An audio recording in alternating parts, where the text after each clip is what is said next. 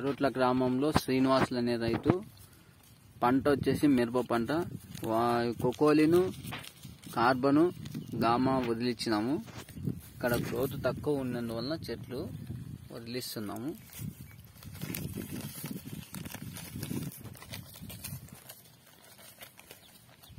రైతు పేరు వచ్చేసి శ్రీనివాసులు రెడ్డి